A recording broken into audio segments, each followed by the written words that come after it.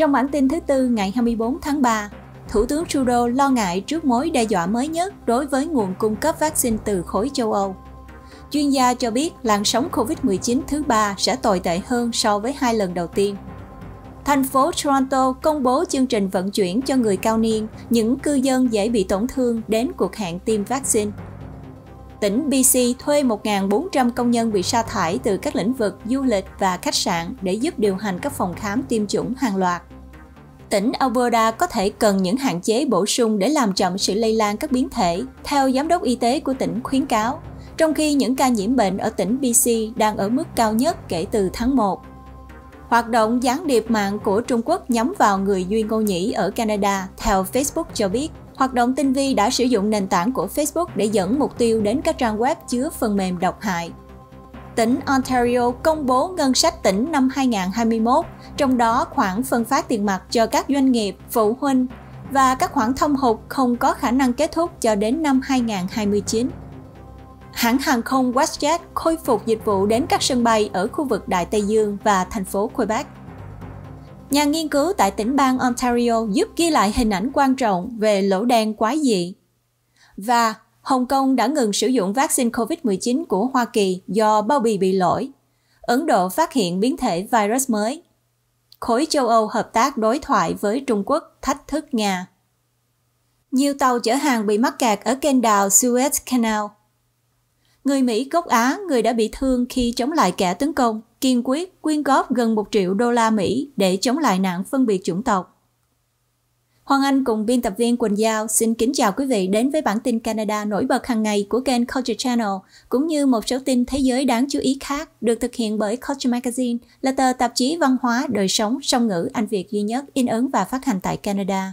Thưa các bạn, để ủng hộ cho kênh Culture Channel, Hoàng Anh mời các bạn subscribe nếu chưa đăng ký subscribe, giúp chia sẻ, share video và bấm nút like sau khi xem chương trình và nhớ bấm nút chuông để nhận được thông báo khi chúng tôi có bản tin mới. Xin chân thành cảm ơn các bạn. Sau đây mời các bạn theo dõi bản tin chi tiết.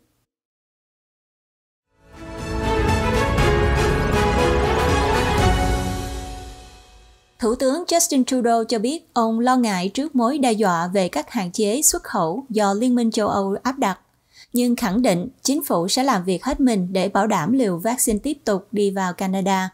Thủ tướng đã phản hồi về các kế hoạch của Ủy ban châu Âu nhằm tăng cường biện pháp kiểm soát xuất khẩu hiện hành, yêu cầu đánh giá giấy phép xuất khẩu vaccine dựa trên hai yếu tố sau – đó là tỷ lệ tiêm chủng của nước đến và sự sẵn sàng của họ để xuất khẩu vaccine hay nguyên liệu thô để chế tạo vaccine đến khối châu Âu.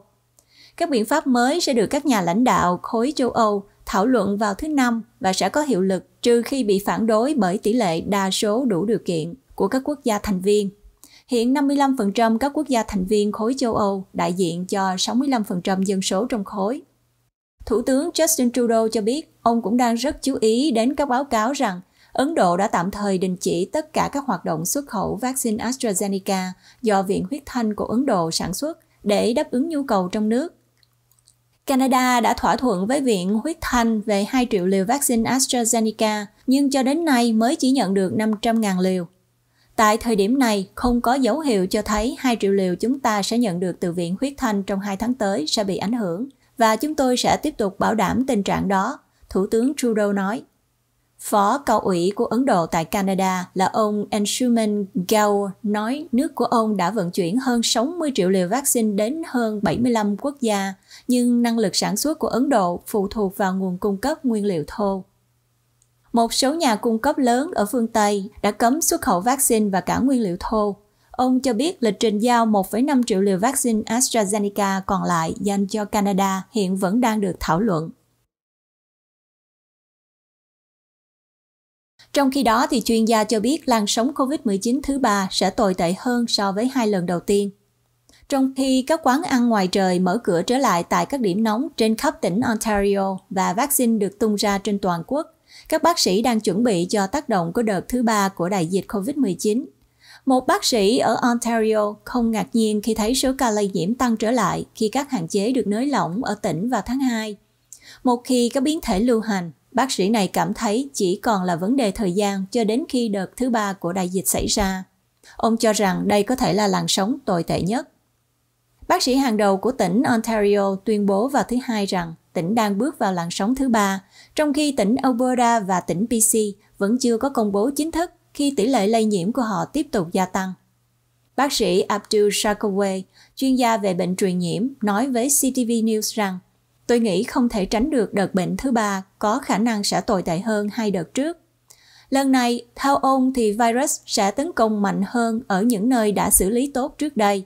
Không chỉ các điểm nóng đông dân cư đang phải đối mặt với nguy cơ này. Hãy xem những gì đã xảy ra ở Thunder Bay, ông nói.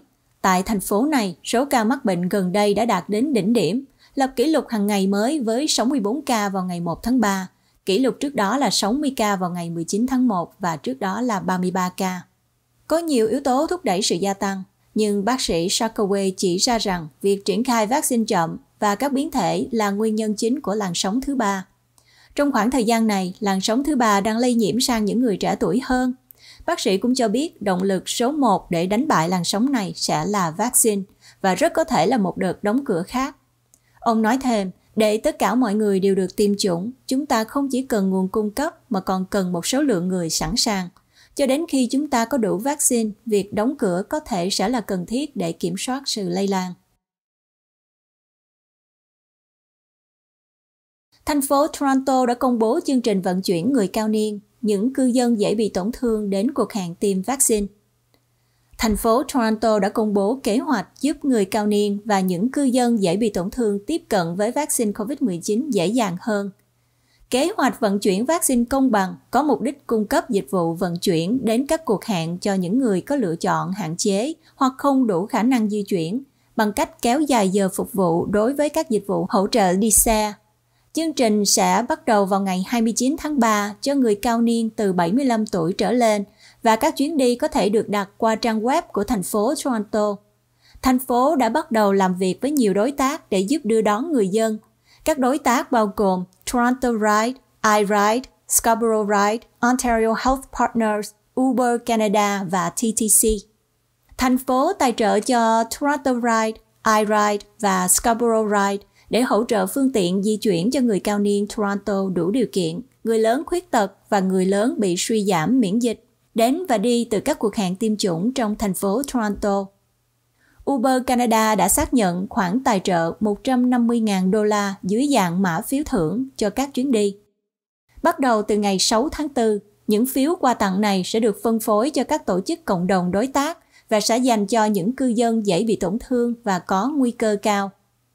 Cũng bắt đầu từ tháng 4, TTC sẽ phân phối 15.000 phiếu vouchers đi xe TTC thông qua mạng lưới các cơ quan đối tác trên toàn thành phố để cung cấp cho những người mà không có khả năng mua vé phương tiện, được đi lại miễn phí đến và đi từ các điểm tiêm chủng. TTC cũng hoàn thiện kế hoạch cho dịch vụ xe bus đưa đón từ trạm Finch đến phòng khám tiêm chủng hàng loạt tại Mitchell Field Arena bắt đầu từ ngày 29 tháng 3, cùng ngày phòng khám bắt đầu hoạt động xe bus sẽ chạy 30 phút một lần, trong thời gian thử nghiệm ban đầu là 3 tuần. Theo chương trình mới, các mối quan hệ đối tác này sẽ được mở rộng trong những tuần tới khi công suất tại các phòng khám vaccine được tăng lên để bao gồm cả người khuyết tật và người cao niên ít tuổi hơn. Thành phố đã khai trương điểm tiêm chủng hàng loạt mới nhất vào thứ Tư tại Thorncliffe Park, nằm bên trong East York Town Center. Phòng khám dự kiến sẽ cung cấp khoảng 1.200 liều vaccine COVID-19 trong ngày hoạt động đầu tiên. Khi có nhiều nguồn cung hơn, địa điểm sẽ hướng tới việc tiêm chủng cho 10.000 người mỗi ngày.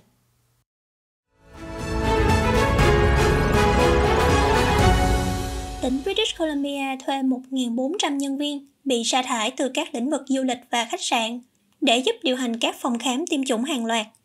Thủ hiến tỉnh British Columbia, ông John Horgan, thông báo hôm nay rằng tỉnh sẽ thuê nhân viên từ 14 tổ chức để thực hiện công việc phi y tế trong các trung tâm tiêm chủng của tỉnh các công ty này vốn đã bị thiệt hại đáng kể và đã sa thải công nhân trong đại dịch, bao gồm Air Canada, WestJet, sân bay quốc tế Vancouver, Vancouver Canucks và Tourism Whistler.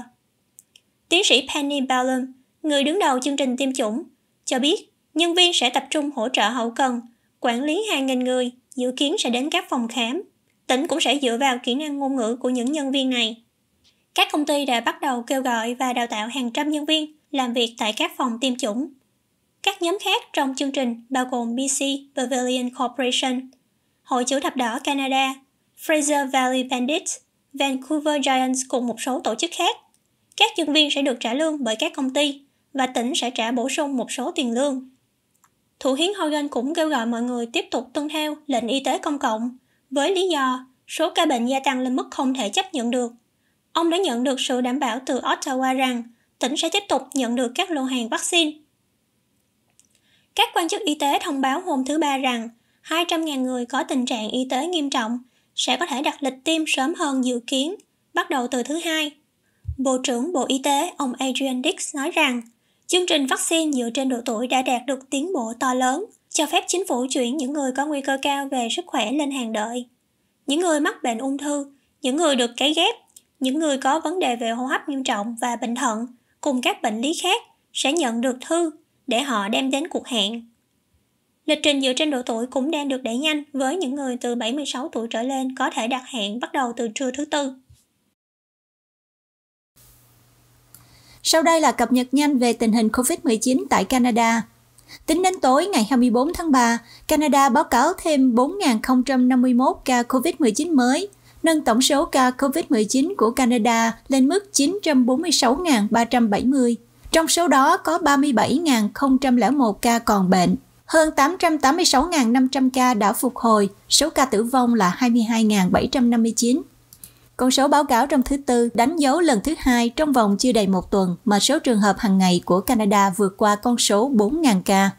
Trong một loạt các tweet vào chiều thứ Tư, Giám đốc Y tế Công cộng của Canada là tiến sĩ Theresa Tam cho biết, khi số ca bệnh trên toàn quốc tiếp tục tăng và khi tỷ lệ các trường hợp nhiễm các biến thể mới dễ lây truyền hơn của virus tiếp tục gia tăng, đó là một thời gian quan trọng. Chúng ta phải luôn cảnh giác.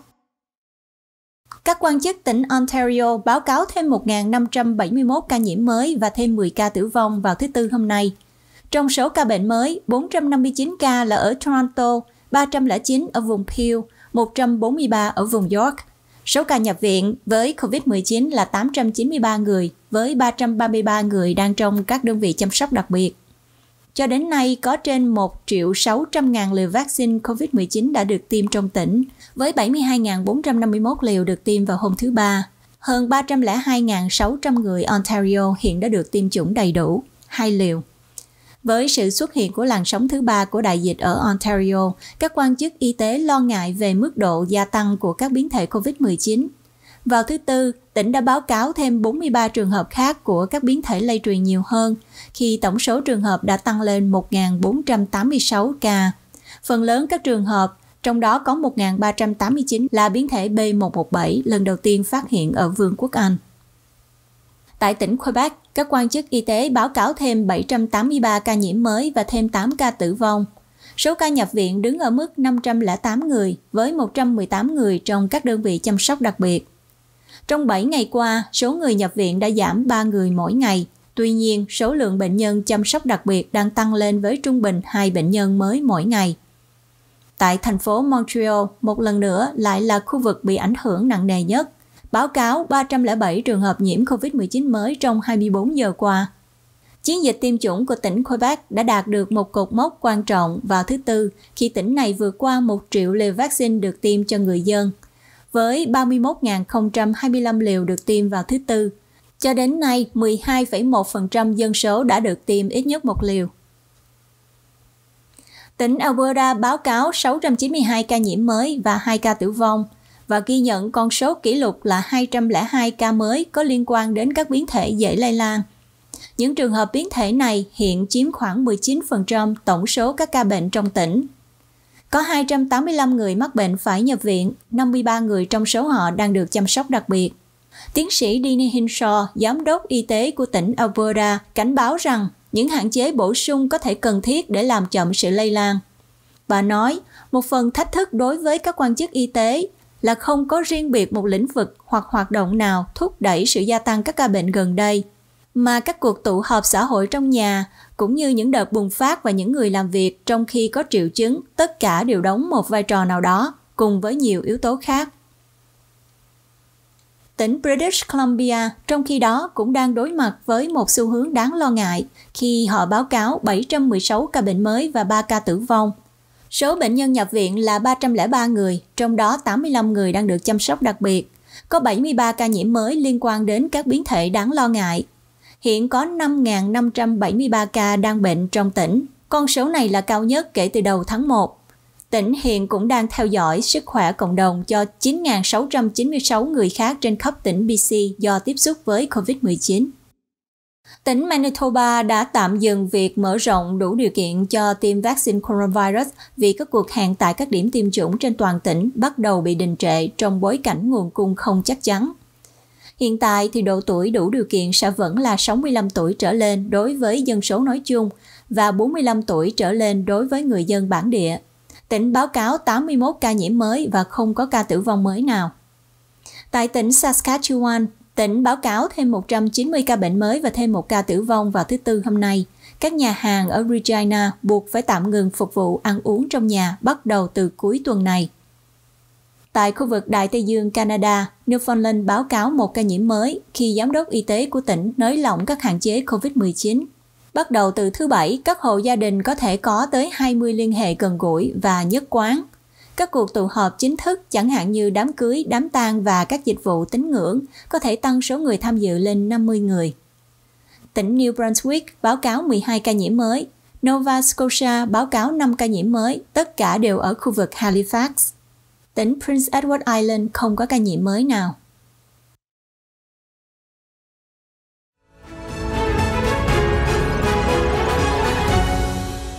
hoạt động gián điệp mạng của Trung Quốc nhắm vào người Duy Ngô Nhĩ Canada theo Facebook. Các thành viên của cộng đồng người Duy Ngô Nhĩ ở Canada đã bị nhắm mục tiêu bởi một chiến dịch gián điệp mạng tinh vi nhằm lây nhiễm phần mềm độc hại vào các thiết bị để cho phép theo dõi người dùng, Facebook cho biết hôm nay. Chiến dịch đã sử dụng nền tảng của Facebook để nhắm vào hàng trăm nhà hoạt động Duy Ngô Nhĩ, nhà báo và người bất đồng chính kiến ở một số quốc gia, với các bài đăng được thiết kế để đưa họ đến các trang web khác chứa phần mềm độc hại. Công ty cho biết họ không biết có bao nhiêu người đã bị lừa khi nhấp vào các liên kết có thể lây nhiễm cho điện thoại di động hoặc máy tính của họ. Facebook Canada cho biết họ sẽ thông báo cho ít hơn 20 người ở Canada bị nhắm mục tiêu. Công ty đã lần ra phần mềm độc hại được sử dụng bởi tin tặc, được gọi là Earth and Pusa hoặc Evil Eye, tới hai công ty ở Trung Quốc, nhưng không thể xác định liệu chính phủ Trung Quốc có liên quan hay không. Chiến dịch này nhắm vào những người duy ngô nhĩ từ tỉnh Tân Cương của Trung Quốc sống ở Canada, Hoa Kỳ, Thổ Nhĩ Kỳ, Kazakhstan, Syria, Úc và các quốc gia khác. Các tin tặc đã thiết lập các tài khoản Facebook nơi chúng giả danh là nhà báo, sinh viên, người ủng hộ nhân quyền hoặc thành viên của cộng đồng Duy Ngô Nhĩ để xây dựng lòng tin với những người mà chúng nhắm mục tiêu và lừa họ nhấp vào các đường link độc hại. Họ cũng thiết lập các trang web trông giống như các trang web tin tức nổi tiếng của người Duy Ngô Nhĩ hoặc Thổ Nhĩ Kỳ và thực hiện các cuộc tấn công để lây nhiễm khách truy cập vào các trang web hợp pháp, Facebook cho biết. Facebook cho biết tin tặc cũng thiết lập các cửa hàng bên thứ ba giả mạo với các ứng dụng theo chủ đề Duy Ngô Nhĩ, có chứa phần mềm độc hại. Chúng bao gồm một ứng dụng bàn phím, một ứng dụng cầu nguyện và một ứng dụng từ điển. Ông Mehmet Toti, giám đốc điều hành của dự án vận động quyền của người Duy Ngô Nhĩ, cho biết chính quyền Trung Quốc từ lâu đã nhắm mục tiêu vào cộng đồng khoảng 2.000 thành viên Duy Ngô Nhĩ ở Canada. Những gì Facebook báo cáo ngày hôm nay tinh vi hơn so với các chiến thuật trước đây. Ông Toti cho biết ông vẫn chưa nhận được tin từ ai được Facebook liên hệ. Đồng thời cho biết thêm nhiều người Duy Ngô Nhĩ tại Canada đã cảnh giác với mạng xã hội và bất kỳ ứng dụng nào có nguồn gốc từ Trung Quốc.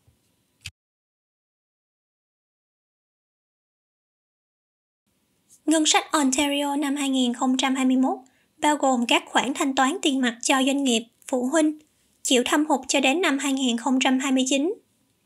Chính phủ Ford tiếp tục tăng chi tiêu chăm sóc sức khỏe và tiền tài trợ cho doanh nghiệp và phụ huynh. Con đường thoát khỏi đại dịch sẽ được mở ra với hơn 100 tỷ đô nợ mới và thâm hụt không có khả năng kết thúc trước năm 2029. Thâm hụt cho giai đoạn 2021-2022 dự kiến là 33,1 tỷ, giảm từ 38,5 tỷ năm ngoái. Mức thâm hụt dự kiến cho các năm 2022, 2023 và 2023-2024 lần lượt là 27,7 tỷ và 20,2 tỷ. Tỉnh sẽ chi 186,1 tỷ trong năm nay, với nợ ròng dự kiến là 440 tỷ và nợ trên GDP sẽ vượt quá 50% vào năm 2023-2024. Chăm sóc sức khỏe vẫn là trọng tâm trong việc chi tiêu, với 2,1 tỷ dành cho các bệnh viện để giải quyết tình trạng tồn động của các ca phẫu thuật và hỗ trợ các nhóm bị ảnh hưởng không tương xứng bởi COVID-19. 2,3 tỷ nữa được dành cho việc truy tìm liên lạc và thử nghiệm PCR cho COVID-19. Hiện chi phí cho người đóng thuế là 46 đô cho mỗi lần xét nghiệm.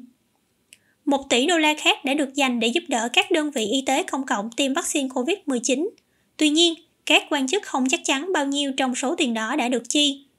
Ngoài chăm sóc sức khỏe, trọng tâm chính của ngân sách là các khoản tiền tài trợ cho các doanh nghiệp bị ảnh hưởng bởi COVID-19 và phụ huynh phải đối mặt với một năm học khó khăn. Các doanh nghiệp chứng minh doanh thu bị ảnh hưởng bởi việc đóng cửa có thể nộp đơn xin trợ cấp tiền mặt ở vòng thứ hai từ 10.000 đến 20.000 đô. Các bậc cha mẹ có con sẽ nhận 400 đô cho mỗi đứa trẻ trong độ tuổi đi học và 500 đô cho mỗi đứa trẻ có nhu cầu đặc biệt. Ngày chính xác các khoản thanh toán sẽ được thực hiện vẫn chưa được biết và những ai đã đăng ký đợt thanh toán thứ hai vào năm ngoái sẽ tự động được nhập vào đợt thứ ba. Tỉnh bang cũng tăng tín dụng thuế chăm sóc trẻ em, có nghĩa là người nộp thuế trung bình là cha mẹ sẽ nhận được 1.500 đô vào năm tới thay vì 1.200 đô. Lĩnh vực chăm sóc dài hạn nhận được thêm 650 triệu đô trong năm nay để duy trì và mướn thêm nhân viên. Trong 4 năm tới, việc thực hiện cam kết cung cấp cho mọi cư dân tại viện dưỡng lão ít nhất 4 giờ chăm sóc sẽ cần thêm 4,9 tỷ đô. Chính phủ Ford cũng dành 400 triệu đô cho lĩnh vực du lịch trong 4 năm tới, cùng với một chương trình mà họ đã công bố vào năm ngoái, sẽ trang trải 20% chi phí cho các kỳ nghỉ trong tỉnh của người dân Ontario khi nào du lịch an toàn. Cũng sẽ có 50 triệu đô dành cho các tổ chức văn hóa và tín ngưỡng đã bị ảnh hưởng bởi đại dịch, những nơi thờ tự và các nhóm văn hóa có hội trường, nơi mọi người không được phép tụ tập như bình thường. Không có các giảm thuế mới cho các doanh nghiệp trong năm nay.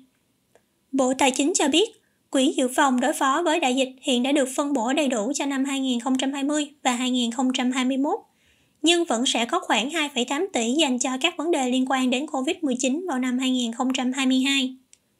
Nhưng ngay cả với việc phân phát tiền mặt mới và chi tiêu cho bệnh viện, vẫn có những lĩnh vực bị cắt giảm. Bên ngoài khoản tài trợ 381 triệu đô từ chính phủ liên bang để hỗ trợ bắt đầu năm học năm 2021, Việc chính quyền tỉnh bang ngừng tài trợ có thời hạn cho lĩnh vực giáo dục có nghĩa là chi tiêu tổng thể sẽ giảm 800 triệu đô. Trong khi đó, Bộ Lao động mất 70 triệu đô tiền tài trợ. Chương trình chữa cháy rừng của tỉnh sẽ bị cắt giảm 20 triệu đô. Bộ Chính phủ và Dịch vụ Người tiêu dùng dự kiến sẽ mất 400 triệu đô. Tháng 2 tồi tệ nhất với số ca tử vong do thuốc bất hợp pháp lên mức kỷ lục ở tỉnh British Columbia.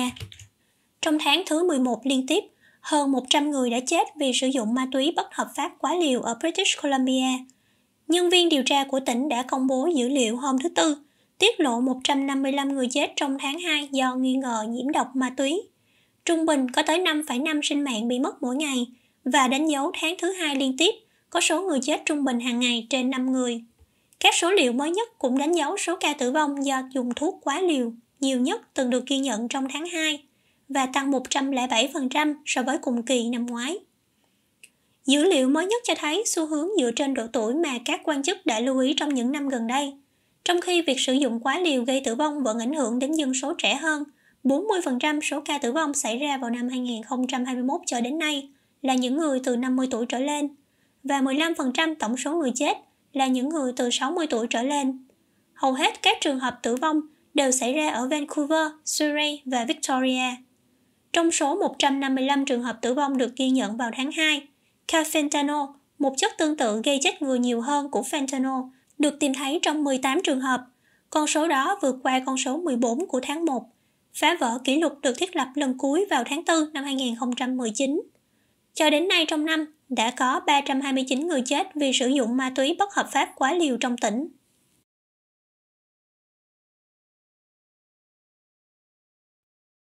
Hãng hàng không WestJet có trụ sở tại Calgary sẽ khôi phục dịch vụ cho 6 sân bay ở miền đông Canada, nơi đã bị đình chỉ vào mùa thu năm ngoái do đại dịch.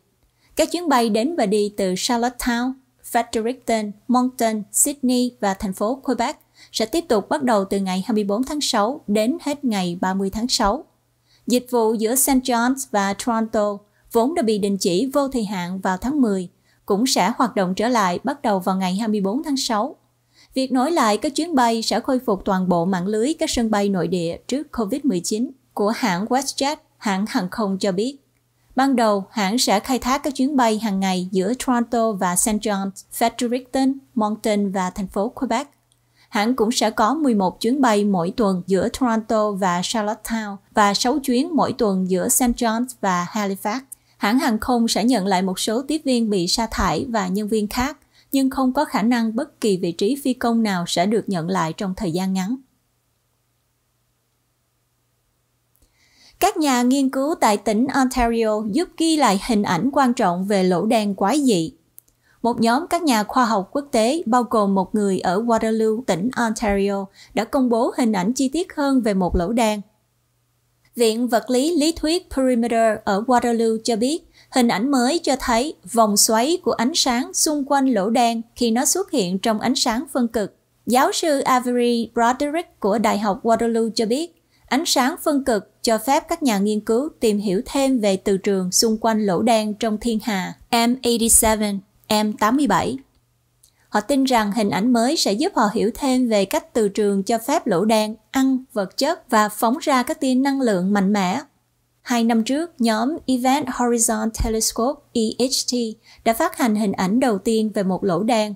Sự hợp tác quốc tế bao gồm hơn 300 nhà nghiên cứu những người đã tổng hợp hình ảnh từ 8 kính thiên văn trên trái đất được đặt trên khắp thế giới. Giáo sư Broderick cho biết, ông đã giúp phát minh ra các kỹ thuật cho phép nhóm thu được ánh sáng phân cực và phải mất 2 năm các nhà nghiên cứu mới thu thập được hình ảnh. Tuy nhiên, hình ảnh mà các nhà nghiên cứu chụp được không phải là lỗ đen gần trái đất nhất, mà là một lỗ ở trung tâm của thiên hà láng giềng Messier 87, nơi dễ quan sát hơn bằng kính thiên văn. Nó có khối lượng gấp 6 tỷ lần mặt trời và nằm cách trái đất khoảng 53 triệu năm ánh sáng.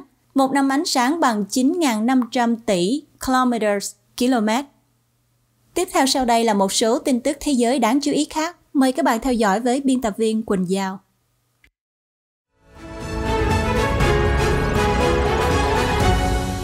Cập nhật tình hình COVID trên thế giới.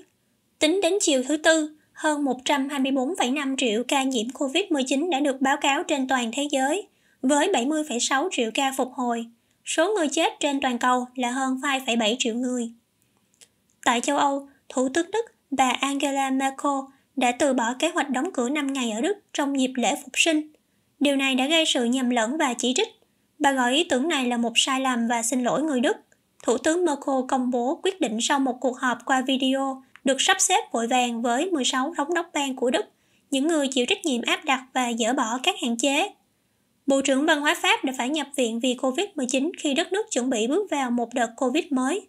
Các phòng ICU ở khu vực Paris cũng như ở miền Bắc và Đông Nam nước Pháp đang đầy dần. Tổng thống Pháp ông Emmanuel Macron tuyên bố đẩy nhanh chiến dịch tiêm chủng. Bây giờ tất cả những người trên 70 tuổi đều có điều kiện để tiêm chủng. Tại châu Á, chính quyền Hồng Kông đã ngừng sử dụng vaccine COVID-19 do Pfizer sản xuất với lý do bao bì bị lỗi, gây ra cảnh lộn xộn tại các trung tâm tiêm chủng trên toàn thành phố. Trong khi đó, một biến thể mới của coronavirus đã được phát hiện ở Ấn Độ. Biến thể này có hai đột biến trong protein gai mà virus sử dụng để tự gắn chặt vào tế bào. Những điều chỉnh di truyền này có thể đáng lo ngại vì chúng giúp virus lây lan dễ dàng hơn và thoát khỏi hệ thống miễn dịch của cơ thể. Tuy nhiên, các quan chức và chuyên gia của Bộ Y tế Ấn Độ đã cảnh báo không nên liên kết các biến thể này với sự gia tăng các ca lây nhiễm mới đang diễn ra ở đất nước.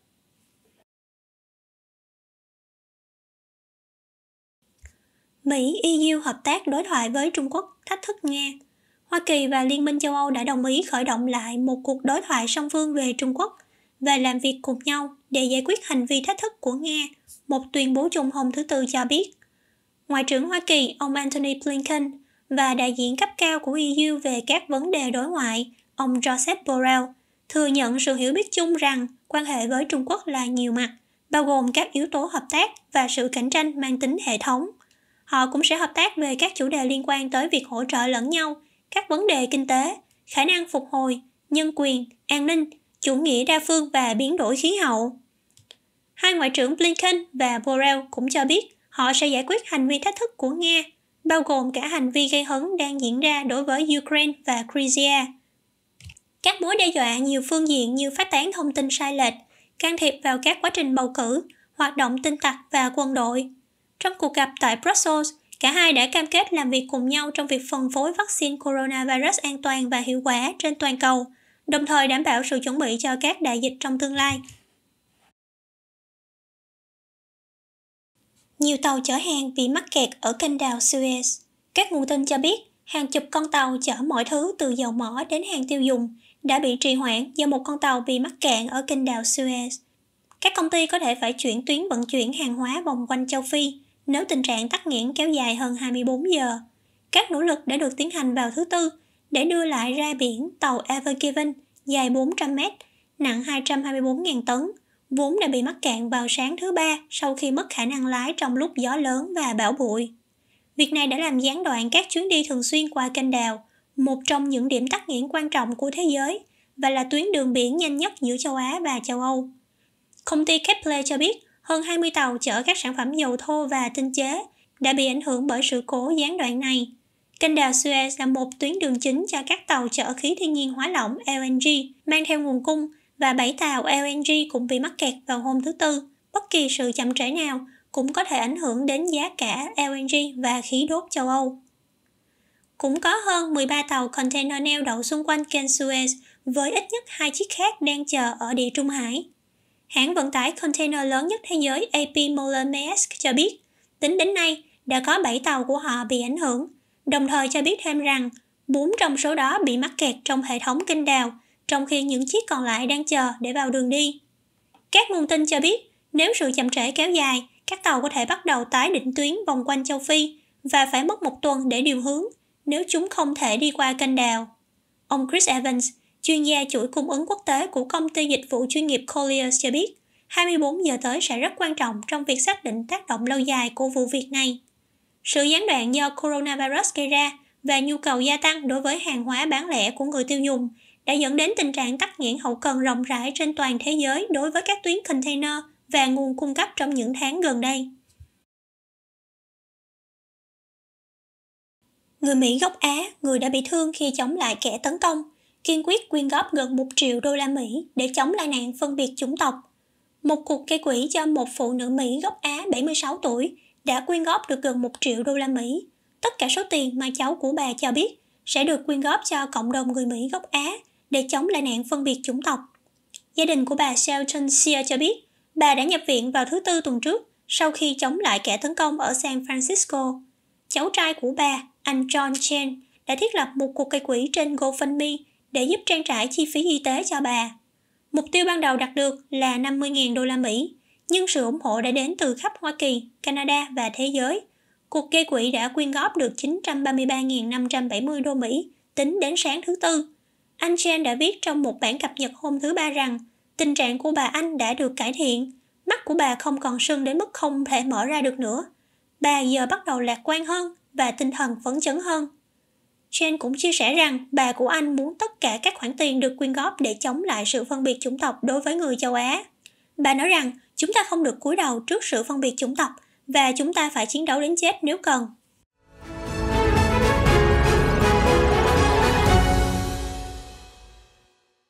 Đây là cập nhật nhanh về đồng đô la Canada và giá vàng.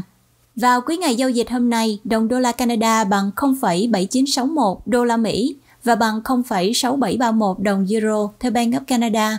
Trong khi đó thì một đô la Canada bằng 18.326 đồng Việt Nam theo Axie.com vào lúc 6 giờ chiều.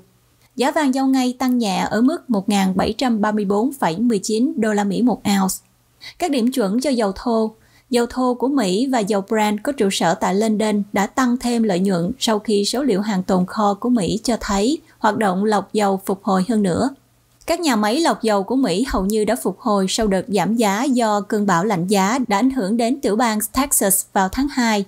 Dầu thô Brent chốt ở mức 64,41 đô la Mỹ một thùng, tăng 6%, sau khi giảm 5,9% vào ngày hôm trước. Giá dầu ngọt nhẹ Texas WTI chốt ở mức 61,18 đô la Mỹ một thùng, tức là tăng 5,9% sau khi giảm 6,2% vào hôm thứ Ba. Dầu đã phục hồi từ mức thấp lịch sử đạt được vào năm ngoái khi OPEC và các đồng minh thực hiện cắt giảm sản lượng kỷ lục. Vào hôm thứ Ba, cả hai điểm chuẩn đều chạm mức thấp nhất kể từ tháng 2. Rất cảm ơn các bạn đã theo dõi bản tin Canada của ngày 24 tháng 3 do tạp chí Culture Magazine thực hiện trên kênh Culture Channel và trang Facebook của Culture Magazine. Để ủng hộ kênh tin tức hàng ngày của Culture Channel, xin mời các bạn hãy subscribe, like và nhấn nút chuông để nhận được thông báo về các video tin tức kế tiếp nhé. Kênh Culture Channel của chúng tôi ngoài bản tin Canada cập nhật hàng ngày, còn có các video về văn hóa, du lịch, ẩm thực, sức khỏe và đời sống, tư vấn di dân di trú, được cập nhật liên tục trong tuần. Mời các bạn đón theo dõi. Và xin quý vị hãy chia sẻ video của Culture Channel để nhiều người được biết tin tức cập nhật hàng ngày tại Canada và đó cũng là động lực để ban biên tập chúng tôi tiếp tục thực hiện chương trình này. Rất mong tiếp tục nhận được các ý kiến đóng góp của các bạn. Xin chúc các bạn nhiều sức khỏe và luôn bình an. Xin chân thành cảm ơn Hoàng Anh và Quỳnh Giao xin thân ái kính chào tạm biệt.